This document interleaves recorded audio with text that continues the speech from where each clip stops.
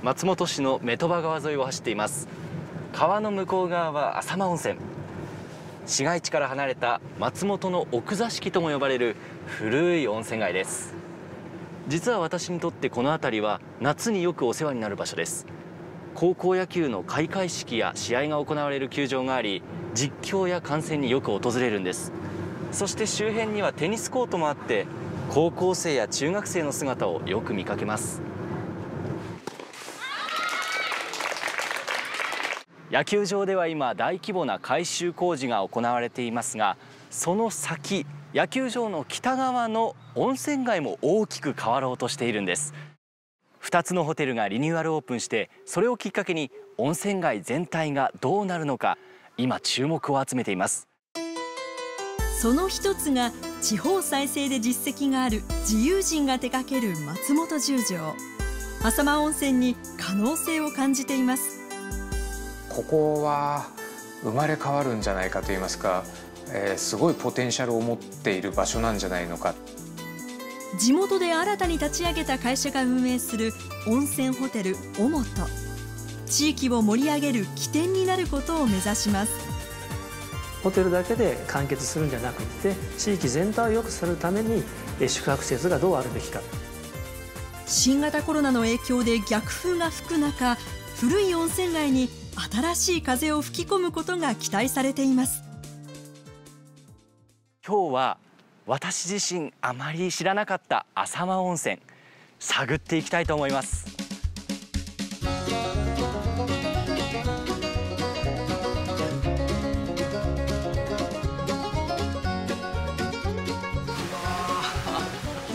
信州すご力は長野県にあふれるすごい底力を発見発掘する番組です。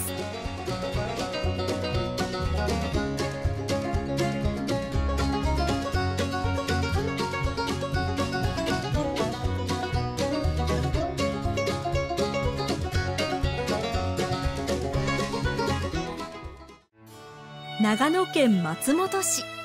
人口はおよそ23万8000人。浅間温泉は市街地から車で15分ほどの郊外にあり松本の奥座敷と呼ばれます。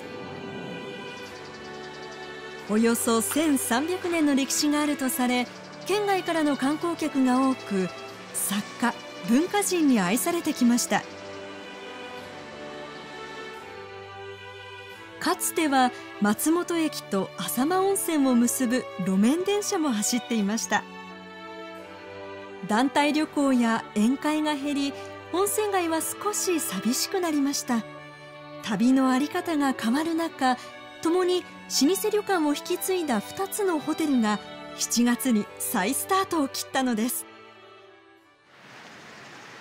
浅間温泉の中心地にやってきました。見えてきました。あれが松本十条か。はあ。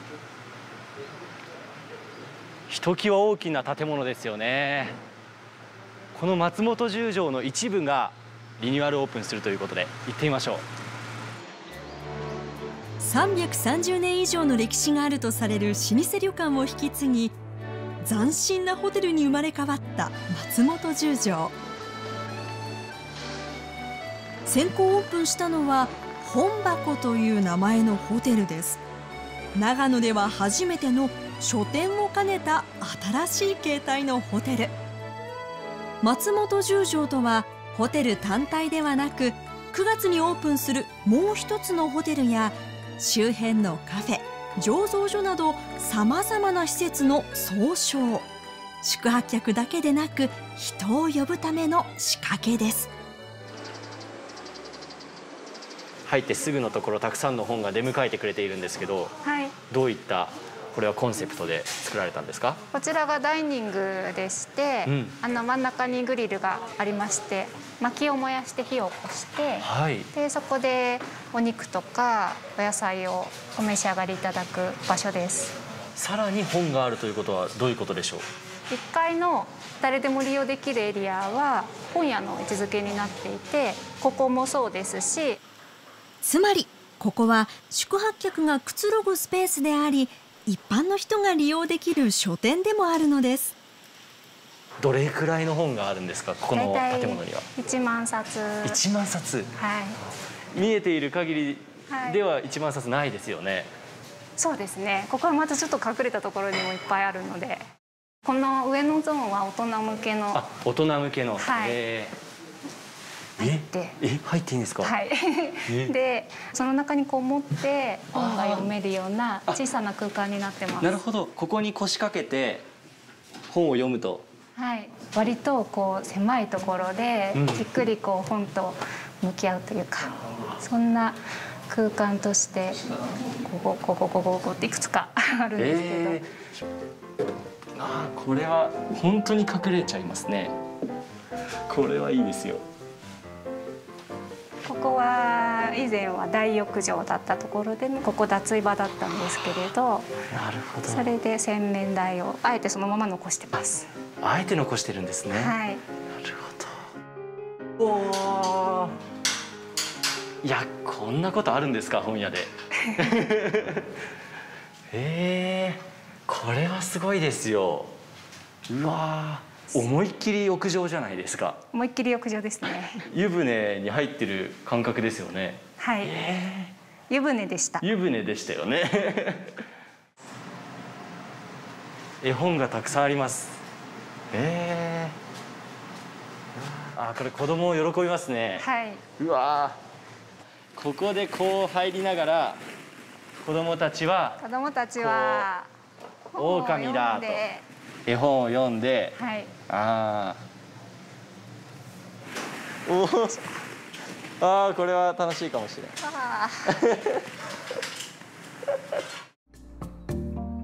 おしゃれなモダンな雰囲気ですね。客室は大人のためのホテルらしいモダンな作り。そしてどの部屋にも歴史をつなぐ意味から前の建物にあった建築用の文字や印接着剤などの記憶が残っています。露天風呂なんですね。はいえ。ー、露天風呂が。うわ露天風呂だ。ここもまた景色がいいところで浸かることができますね、ねはい、全部のお部屋に露天風呂がついてます。そうですか。はい大浴場大きいお風呂が本屋さんになったのでそれぞれのお部屋にお風呂をつける形でお湯を楽しんでいただいてます。そうかそうか。ちょっと贅沢をするなら最高の眺めを満喫できるスイートもあります。こちらがはいホテルにお泊まりになられる方が最初にここに寄っていただいてチェックインの手続きをして、はい、でこちらからホテルに向かっていただくというレセプションです。そうなんですね、はい、ホテルもなかなか凝った作りですけどレセプションも珍しいタイプですね、はい、そうですね。受付がホテル本館と離れている独特の形態ですが一般の人も利用できるカフェを兼ねていますホテルを運営するのは新潟を拠点に地方再生の事業を手掛ける自由人。そのリーダーは雑誌の編集長であり新潟や箱根で斬新なホテルを成功させた岩佐徹さんです。この松本に、えー、本のホテルを作ろうこれは何で松本だったのかというと20万人ぐらいの地方都市でこんなに文化レベルが高くてえー、その文化の成熟度合いが高い町って日本でそんなないですよね。例えば食文化にしたって食べ物もそうだし、バー行ったってバーのレベルは高い自然派ワインの飲める店たくさんある、レストランのレベル高いお蕎麦おいしいみたいなね。ありとあらゆるものがその人口23万人に対して非常に高いレベルにある。これは当然ながらその日本中の方や、まあ、将来的にインバウンドが戻ってきたら海外のお客様もそこを PR をしていけば世界中からお客様集まるような気がするんですよね。これからの時代のそのホテルの在り方っていうのはその自分家のホテルだけお客さんが来るとか自分家のホテルだけ発展するなんてことも絶対ないんですよ。でなぜならばその自分家のホテルだけに観光バスでお客さん連れてきてっていう時代はもう終わってますので、はい、その来るお客さんはそのエリアに魅力を感じてお越しになる。つまりその私たちがこの松本本箱をやるということは当然ながら私たちの施設が魅力的であることも重要なんですがそれ以上にその地域が魅力的に移っていかないとお客様来ていただけないんで今どちらかというと受け身で待ってるのでその待ってるんじゃなくて自分たちで開拓しようっていうことなんですけれどもね。ホテルからその街を発信するということなんですそうですそうです、うん、もうまさに、えー、ここが雑誌の1ページでありここにお泊まりいただいた方が浅間温泉をここで泊まって歩いて浅間温泉を感じたり松本の市内に行って松本を感じたりまた信州いろんなところを旅されて信州を感じていただくっていうような、まあ、拠点拠点つまり、まあ、ここはメディアですね。面白い宿できたよ浅間温泉って結構これからポテンシャルありそうだよなんてことをいろんなところでおっしゃっていただけると、まあ、浅間温泉も活性化するし是非浅間温泉を訪れていただいてうち以外にもね本当に宿たくさんあるんですよ。もう第一章素晴らしい宿とかたくさんあるんで、えー、うち以外にお泊まりいただいてうちの本を見に来ていただいてもいいんで。松本十条からすぐ近くのところまで歩いてやってきましたこの辺りも風情がある景色が広がってますよ。この壁なんかも非常に歴史を感じますね。そしてもう一つリニューアルオープンするホテルがこちらです。ホテル尾本。こちらも老舗旅館を改装してリニューアルオープンするということなんですがいやこのホテルはどんなところを改装してオープンするのか。100年続いた歴史を名前に残した尾本。温泉街で一番の眺望を生かした温泉をアピールします。は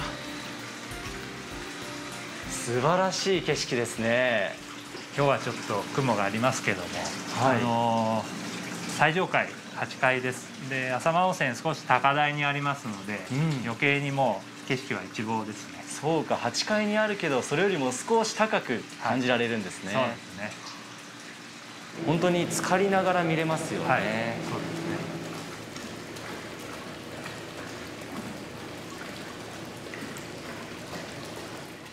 ねいろんなあの部屋タイプご用意してます。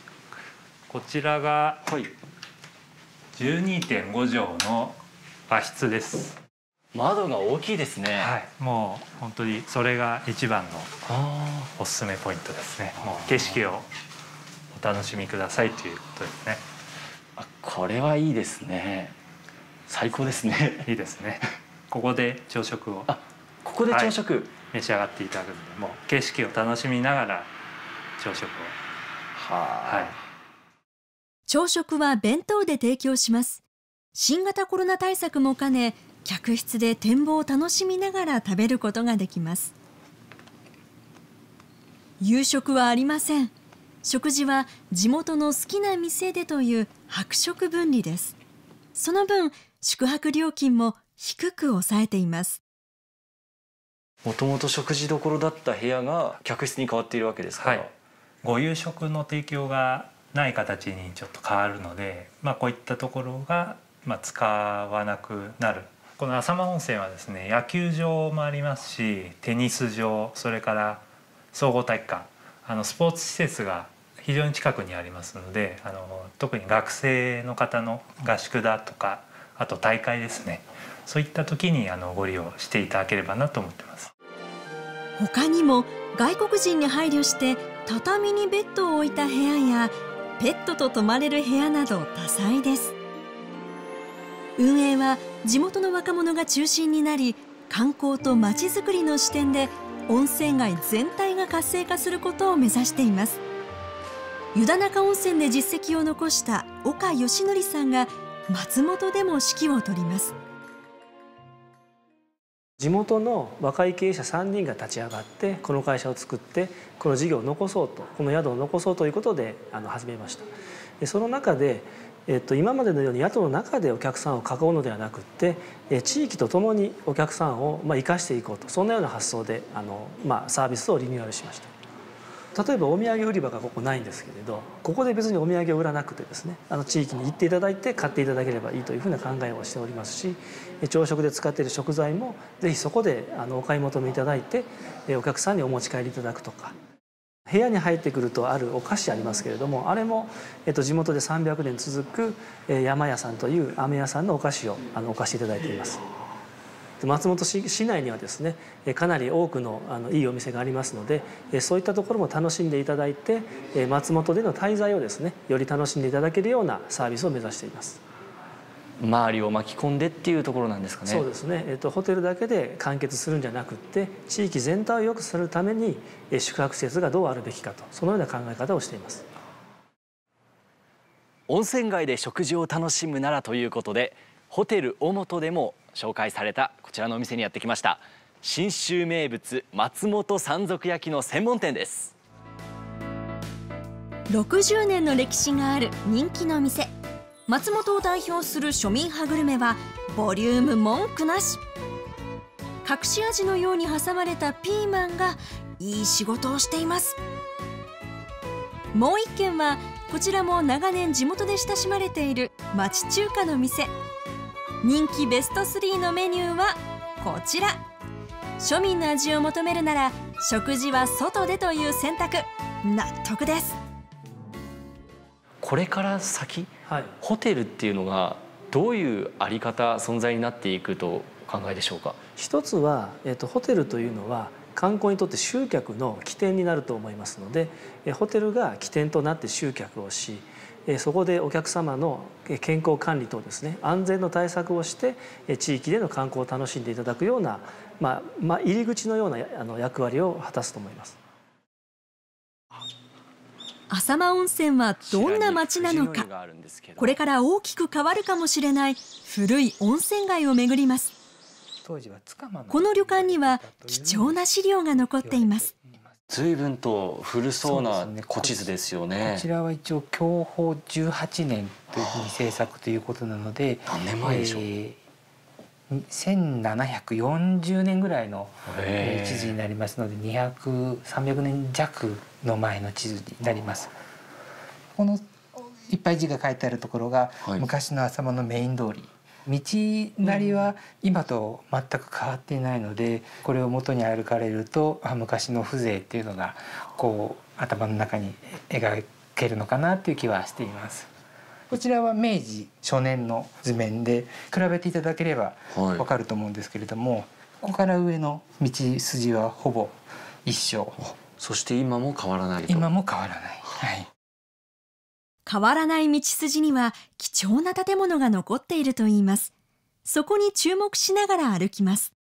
ここは浅間温泉の中でも古い旅館さんで、はい、えー、目の湯さんという、えー、旅館になります。目を洗ったりすると目が良くなるとか、はい、建物自体は240年ぐらい前の建物がそのまま今も旅館として使ってますので、浅間温泉の中には蔵が結構残っていますから、こういった蔵を見ながら温泉街の中を散策をしてもらうのも面白いかと思います。細い道を抜けてここが温泉街の中のメインの通りになります。昔は70軒ぐらい旅館があって、はい、賑わっていた温泉場だったと聞いています。江戸から続いている温泉みんなが入れる温泉場になっています。浅間温泉の中には10いくつかこういった外湯さんがあるんですけれど一般の観光の方を受け付けているところはいくつか限られていてここは一般の方でも入れるところになります。はい。ここも古い旅館さんになります白線流しというドラマの舞台に中心になったお宿さんで、はい、こことかあとこのあの赤レンガとかが結構風情がある、はい、本当だ、はい、外壁が赤レンガですね、こういった昔ながらの風情を残していくっていうのも旅館大切なので、うん、でこちらが昔からの。そうですね。ここが昔からの温泉場のメインストリートになります。何でしょうここも昔は旅館をやっていました。建物もものすごく古くて昔の名残の旅行業者さんとの看板がまだ今も健在で残して見れるようになっていますので。これ今はなかなか見れないですよね。そうですね。もうない会社さんも多分あると思うので温泉が近く感じられると思うんですけれども、はい、ここが、おえー、源泉の一つです。浅間に残る唯一の自然湧出。です。掘ると出ちゃう。この辺一帯は1メートルぐらい掘るとお湯が噴き出てくる。そういった場所になります。ええー、そうなんだ、ここも温泉です。ここも温泉。これは湯仲間のこれは湯中が持ってる温泉場になります。で細いですけどここにも本当だ。千機の湯って書いてあるの分かると思いますけどここもこの奥に湯仲間が持っているお風呂があります。えー、外湯が当たり前にあって人によっては一日に何度も浸かりに来るといいます。日常的な温泉街の光景です。桶を持って歩いてる近所の方とかがいたりしてあの温泉場温泉もあったかいですけどその町全体がこう温かみのある場所だなというふうに感じています一つ一つ歴史をね本当に感じさせる。ここも古い温泉旅館だったんですけど今ちょっとあの営業はやってないんですけれどそうなんですね、うん、歴史のある建物でここをちょっと裏側の方に待ってもらうとその建物の良さっていうのが分かっていただけると思うので今の法律だとなかなかできない建物になります。あ裏側に。おお、ね、このこれがなかなか今の建築ではない。いやこれは見ないですよこれ、はい、何ですか？えっ、ー、となんて言いましたかね。これ板ですか？板ですね。板張りになりますね。古い建物好きにはたまらない街です。この温泉街を少し裏手に行ったところに小高い山があるんですよ。御殿山というそうなんですがちょっと登ってみましょう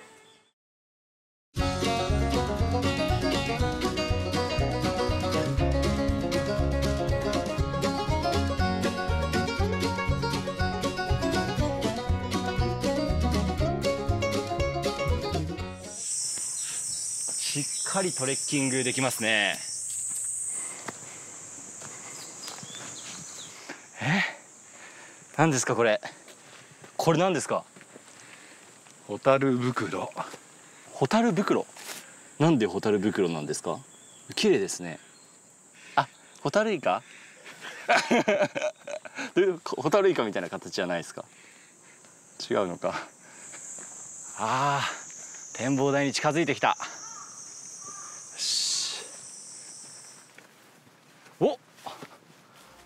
おおいやこれはすごい。圧巻ですよ。木曽谷があってそこから右の方にガーッと松本市内を一望できると。その奥には本当晴れていたら北アルプスが望めるということなんですけどね。いいですね本当に。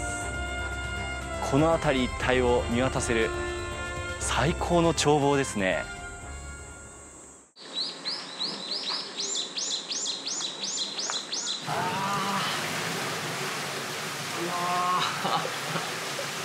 最高。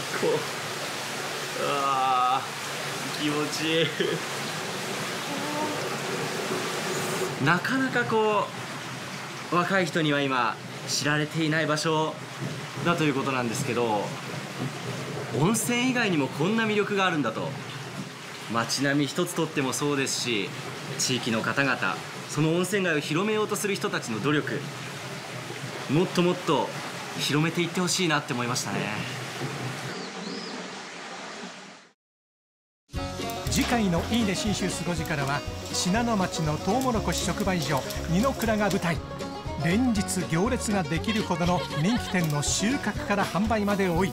そのすご力に密着。とっても甘いです。意外にモテるもんですね。さらに信濃町でトウモロコシ栽培を教えた人物を探ります。優しくてねあったかい人でしたからね。本当親近感感じて。本当に。